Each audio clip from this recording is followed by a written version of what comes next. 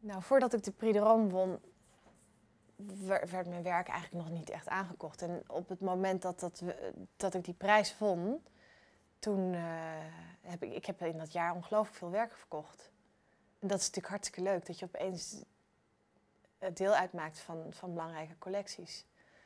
Van de Nederlandse Bank en van de, van het ministerie van Binnenlandse Zaken en van de Rabobank, nou, de KPN. Er zijn er zoveel.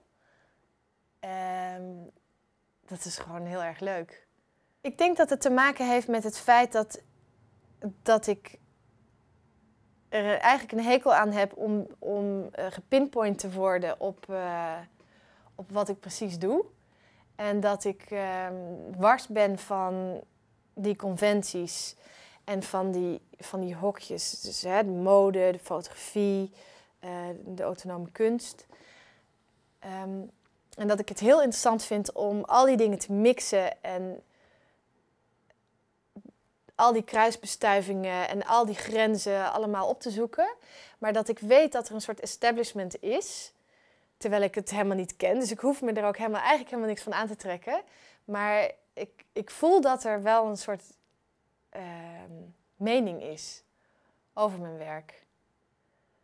En ik, ik ben daar niet helemaal uit. Want eigenlijk is het zo dat ik me er totaal niks van aantrek. En ik doe gewoon waar ik zin in heb. En aan de andere kant is het toch dan eigenlijk wel heel erg leuk om dan toch de Prix te winnen. En opeens ehm, eh, dat eh, heel stomzinnig dat, dat die goedkeuring te krijgen. Ik denk dat de Prix de Rome ook door, door, doordat je de mogelijkheid krijgt om nieuw werk te maken. En dat je dus in ieder geval 10.000 euro krijgt. Dat is veel geld voor een kunstenaar. Om, om weer weer nieuw werk te produceren. Dat is, dat is natuurlijk heel erg geweldig.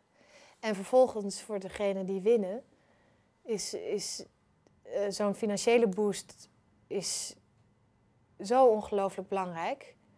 Om echt te professionaliseren in je, in je werk. En ik heb bijvoorbeeld, eh, doordat ik de Prix de Rome won, heb ik mijn eerste boek kunnen publiceren. En dat had ik anders, had ik dat niet gekund. Ja, ik denk, dat is heel cheesy, maar ik, wie wil er nou niet een prijs winnen die de Prix de Rome heet? Dat is toch prachtig?